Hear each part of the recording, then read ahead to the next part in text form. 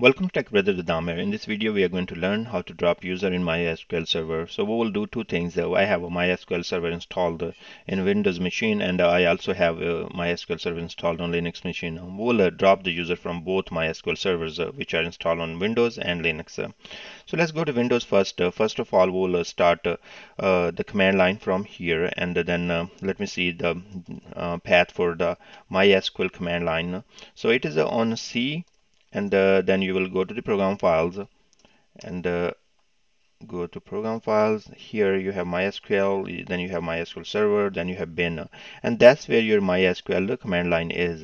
So I'm gonna copy this path and uh, open a command line. So I will open command uh, prompt.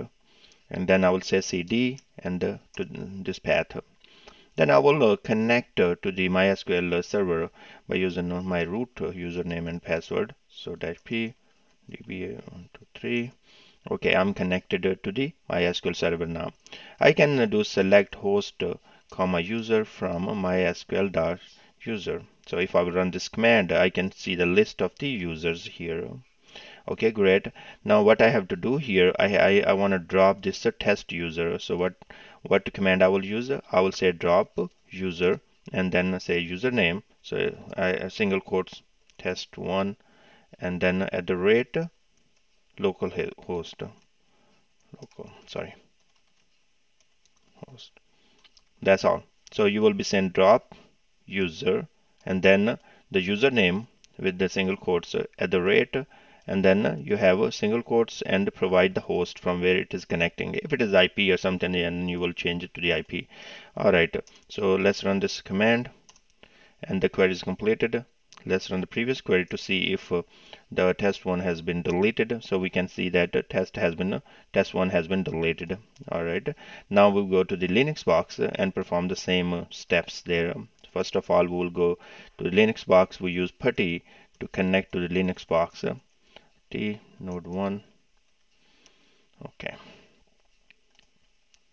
I always uh, do these uh, small small steps because uh, sometimes when you are new you even don't know where to navigate and uh, how to get to your uh, uh, Linux box or you know how to connect from different machines where uh, any other machine. So uh, that's why I perform all these small steps.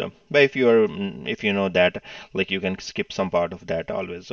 Okay so now we are connected to the Linux box but we have to connect to the MySQL to delete our user. So I'm gonna go to the MySQL server by using root and uh, provide the password. Sorry okay so we are connected to the mysql server now. I'm going to clear the screen.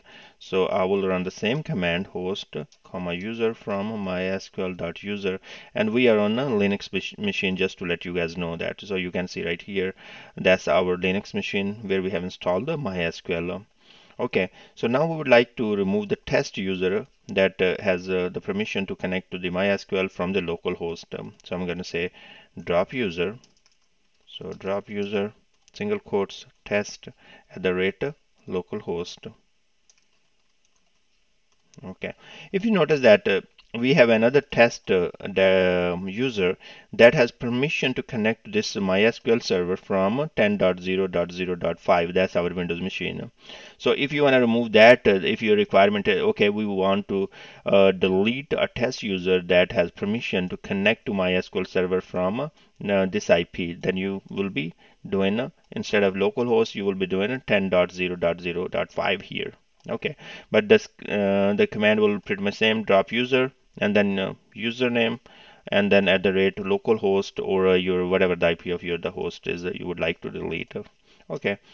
All right so now we are good here. If we run the statement again and you can see that the test at the rate localhost has gone. Still we have tests that can connect from 10.0.0.5 IP all right so uh, run the flush privilege.